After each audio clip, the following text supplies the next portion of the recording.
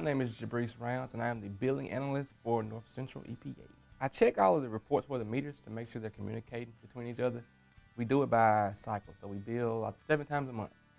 So I check each each time each cycle that goes through.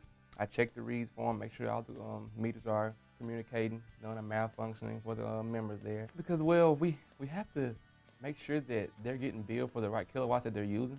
Sometimes the meters can go bad, and we have to do some estimating there to make sure that they're billed for what they're really using there. Checking the reads and making sure that they're getting billed correctly. That's probably the most vital part of my job here. Since I've been here, um, I would say with the just with the people I work with every day, just as much as they care, you know, about our members and being a part of that whole system here, man, it, it's it's nothing like it's like nothing else.